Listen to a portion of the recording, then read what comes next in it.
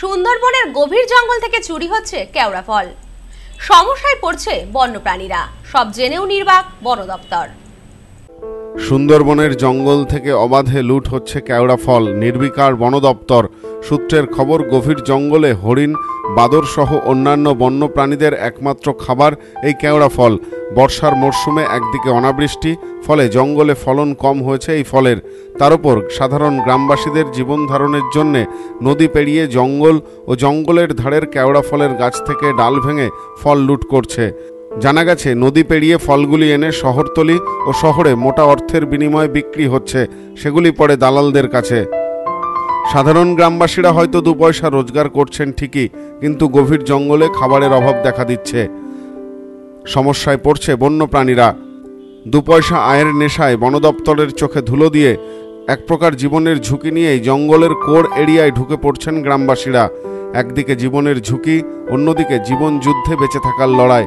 সব মিলিয়ে নষ্ট হতে বসেছে সুন্দরবনের ভারসাম্য। এ বিষয়ে গ্রামবাসীদের বক্তব্য, গ্রামে তেমন কোনো কাজ নেই।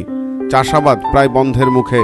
জঙ্গল থেকে একটু ঝুঁকি নিয়ে ফল পেড়ে আনলে সেই ফল বিক্রি করেই দু থেকে আড়াইশো টাকা রোজগার হচ্ছে প্রতিদিন। তা দিয়েই চলছে সংসার।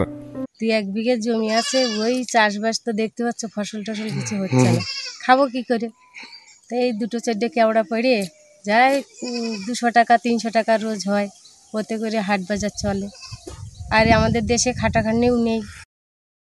বসিরহাট মহকুমার হিঙ্গলগঞ্জ ব্লকের হেমনগর কোস্টাল থানার শামশেরনগর, কালীতলা, ঝিঙেখালি প্রভৃতি এলাকায় খোঁজ নিয়ে জানা গেল, গ্রামে যে ফল পনেরো টাকায় বিক্রি হয়, সেই ফলই একটু শহর বা শহরতলিতে পৌঁছে দিতে পারলেই প্রতি কেজি পঞ্চাশ টাকা দরে বিক্রি হচ্ছে।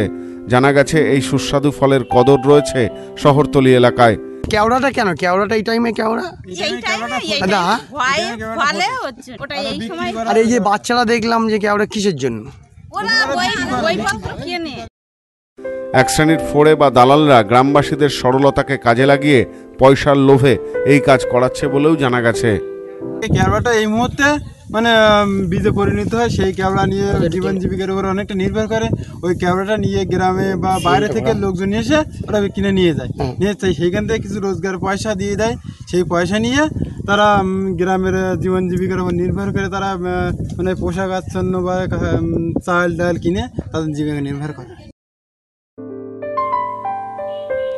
Bureau report news no man's land Hingalganj.